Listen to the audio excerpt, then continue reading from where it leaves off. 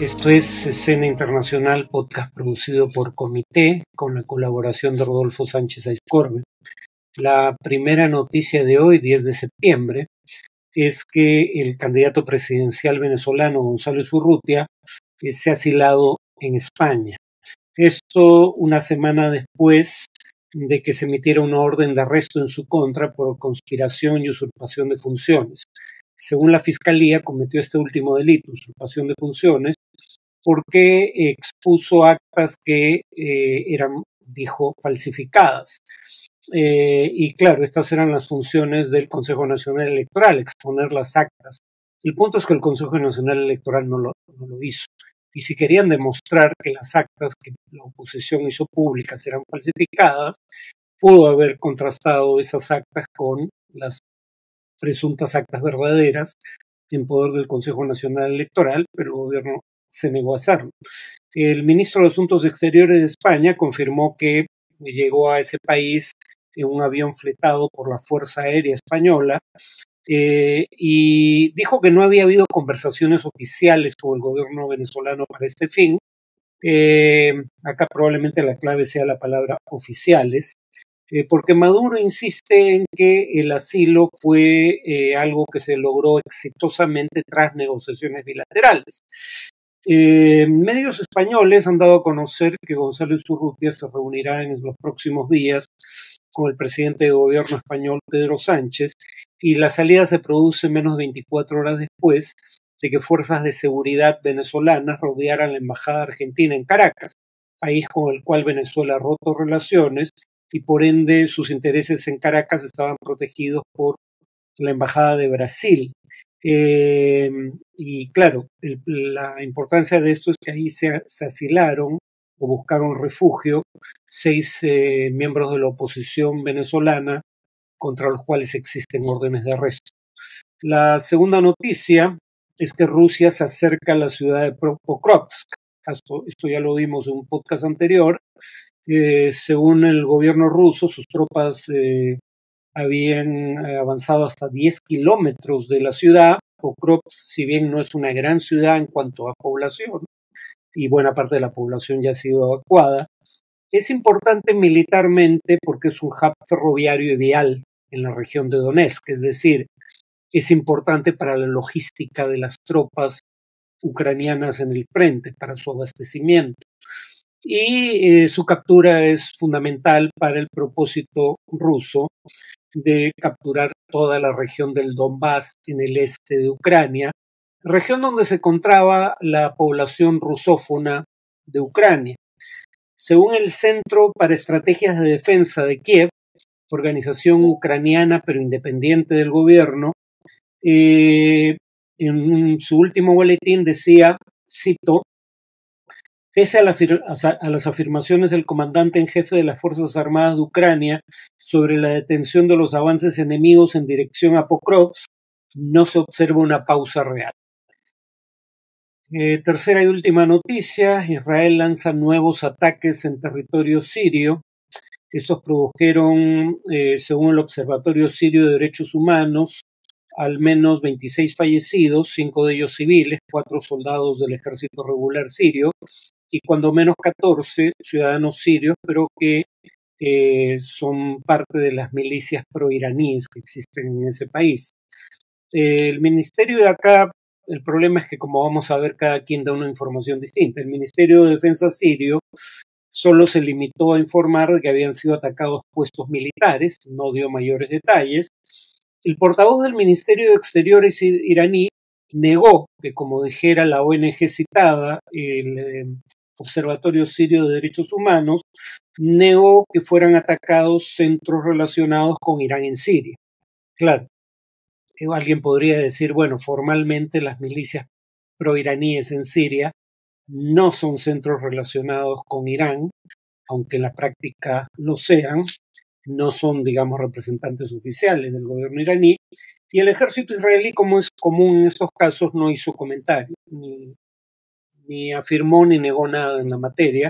En los últimos años eh, se responsabiliza Israel de cientos de estos ataques, contra objetivos en zonas controladas por el gobierno sirio, pero rara vez Israel hace mención alguna a, los hechos, eh, ni siquiera los admite, aunque, repito, tampoco los niega. Eh, suelen dirigirse contra fuerzas sirias o grupos a los que apoya Irán dentro del territorio sirio. En cuanto al tema de análisis, voy a referirme a lo dicho por la candidata presidencial demócrata Kamala Harris en torno a, eh, digamos, eh, la naturaleza del conflicto en Gaza. Porque básicamente ella suele repetir algo que se ha vuelto común en la administración demócrata, y es, uno, afirmar el derecho de Israel a defenderse, y dos, que debe defenderse tratando de reducir el número de víctimas civiles. De hecho, en algunas ocasiones se llega a decir que han muerto demasiados civiles, sin decir nada respecto a quién les dio muerte y bajo qué circunstancias. Y yo quisiera, eh, digamos, cuestionar ambas premisas. La primera, la premisa de que Israel solo se está defendiendo, uno, y dos, la premisa de que está actuando en defensa propia, pero que en ocasiones podría estar cometiendo excesos, como si estos no fueran violaciones intencionales del derecho internacional humanitario. Y quisiera un poco mostrar la evidencia de que ninguno de estos elementos es, cierto. Por ejemplo, Israel se está defendiendo. Claro, eso sería cierto si la historia de la humanidad hubiera empezado el 7 de octubre de 2023. Pero este conflicto no empezó el 7 de octubre de 2023. Por ejemplo, ya en 1948, la Asamblea General de la ONU, eh, con voto favorable de Perú, si mal no recuerdo, eh, había aprobado una norma, la 194, que eh, precisamente haciendo alusión al hecho de que unos 750.000 palestinos habían sido forzados a marchar al exilio durante la guerra de ese año, durante la creación, el proceso de creación del Estado de Israel, el artículo 11 de la resolución 194 de la Asamblea General de la ONU determina que los eh, refugiados palestinos que deseen regresar deban hacerlo lo antes posible y que aquellos que decidan no regresar debían ser indemnizados.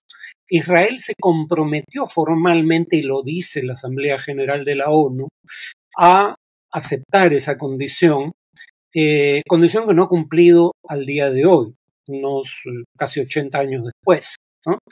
Em, entonces, uno, Israel provocó una limpieza étnica en 1948, eh, reconoció que debía permitirse volver a las personas que fueron marchadas, forzadas a marchar al exilio, y no lo ha permitido hasta el día de hoy. Segundo, Israel ocupa territorio ajeno. No puede decir que se defiende del pueblo al que ocupa. ¿No? Eh, ¿Quién dice que Israel es una potencia ocupante? Bueno, lo dicen diversas resoluciones de Naciones Unidas, de la Asamblea General y del Consejo de Seguridad que he citado en podcasts anteriores.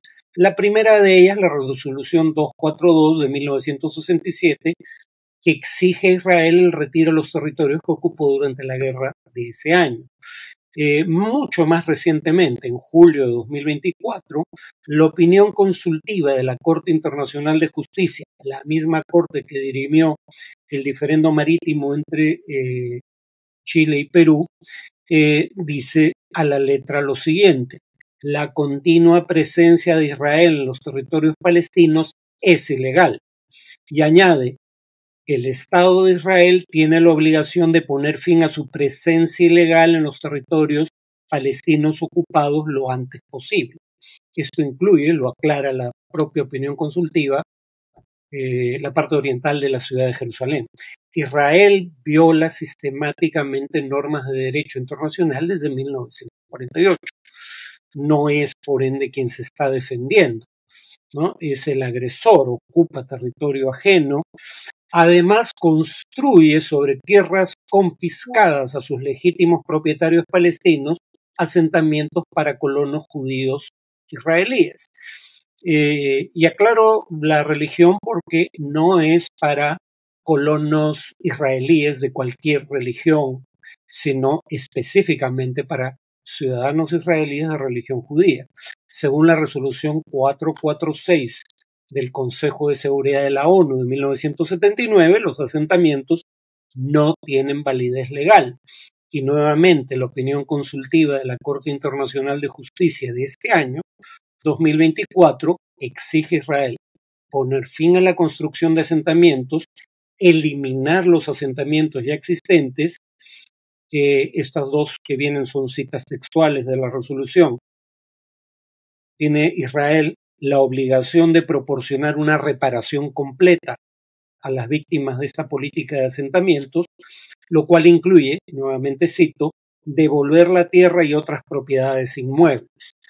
Además, Israel ha construido un muro que sería legal si lo construyera en lo que es la frontera internacionalmente reconocida de Israel y lo que debiera ser un Estado palestino, las fronteras de 1967 pero la mayor parte del muro está construido en territorios palestinos ocupados. Eh, es por eso que la eh, Corte Internacional de Justicia, en otra opinión consultiva sobre la materia de 2004, por una votación de 14 a 1, habría que recordar que Perú le gana algunas votaciones a Chile ante la Corte Internacional de Justicia por 10 a 7. Esas decisiones son vinculantes en el caso del referendo entre Chile y Perú, pese a lo estrecho del margen. Aquí no hay, aunque la, opinión consultiva no es vinculante, eh, aquí no hay mayor, eh, digamos, margen para el error. La votación es de 14 a 1 y respecto al muro dice, la construcción del muro que está elevando Israel, la potencia ocupante en el territorio palestino ocupado, y su régimen conexo son contrarios al derecho internacional. Israel forzó a marchar al exilio a la mayor parte de la población nativa ocupó tierras que, según el derecho internacional, no pertenecen a Israel, confiscó propiedad en esas tierras para construir asentamientos y luego construyó un muro en territorio ocupado, lo cual en la práctica, según la Corte Internacional de Justicia, era parte de un proyecto de anexión de nuevo territorio. Eh, entonces, Israel no puede estar alegando que solo se defiende. Quien está en falta ante el derecho internacional, quien ocupa ilegalmente a otro pueblo, no puede alegar que el único propósito de sus acciones es defenderse del pueblo al que ocupa ilegalmente. Pero además Israel no actúa ni eh, hace mayor esfuerzo por actuar dentro de las normas del derecho internacional humanitario. Si alguien se está defendiendo serían los palestinos. ¿A qué tienen derecho los palestinos en aras de ejercer su legítima defensa? Podrían tener derecho al uso de la fuerza dentro del derecho internacional humanitario, cosa que jamás claramente no hace, pero tampoco hace Israel, y ese sería el mismo estándar, dicho sea de paso.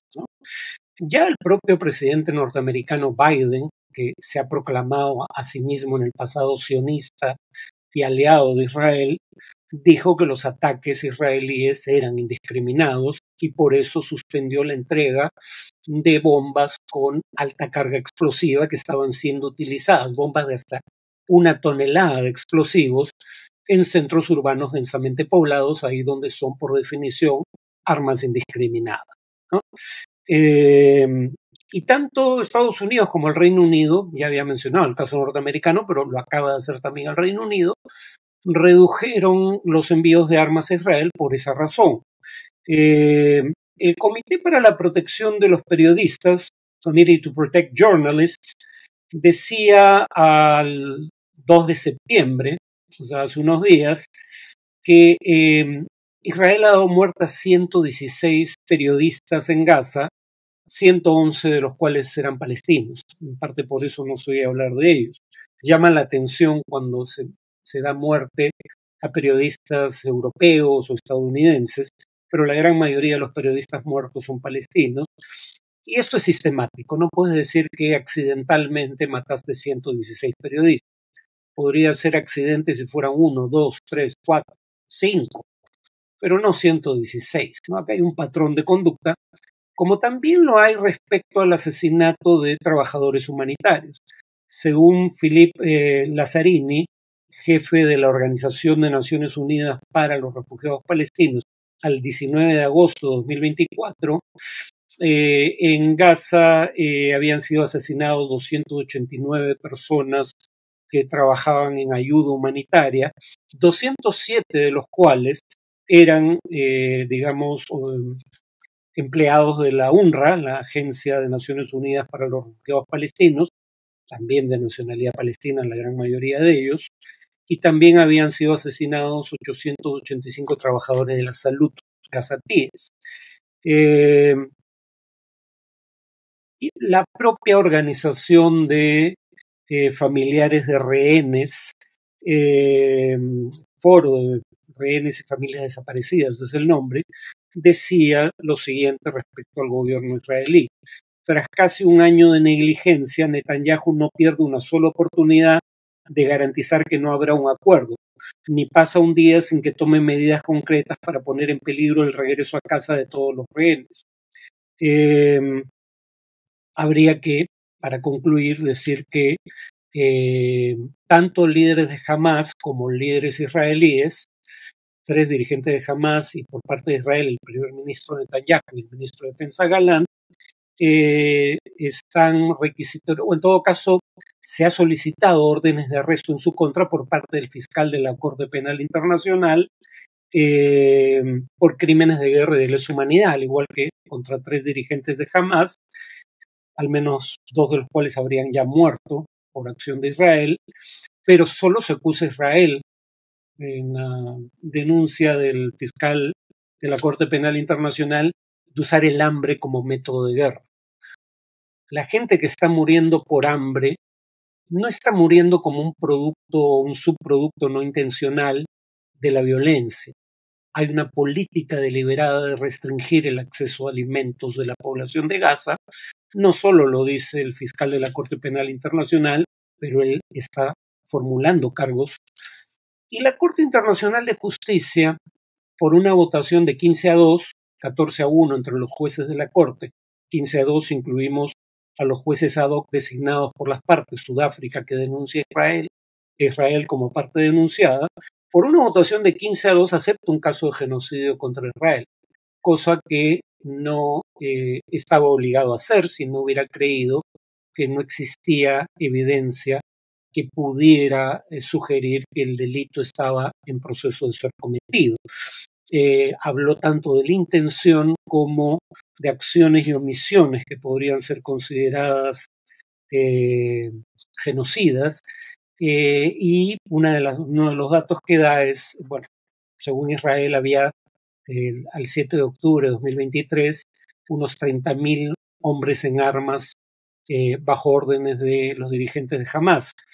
Eh, y a mediados de enero, 26 de enero si no me equivoco, se da a conocer la decisión de la Corte Internacional de Justicia, habían ya 360.000 unidades de vivienda dañadas o destruidas.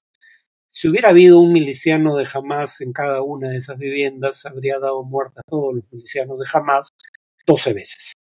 Claramente ese grado de destrucción no es compatible con la idea de acciones militares en legítima defensa que se atienen a lo que establece el derecho internacional humanitario. Luego entonces lo dicho por Kamala Harris no se atiene a la verdad. Eso es todo por hoy, nos vemos en el siguiente podcast.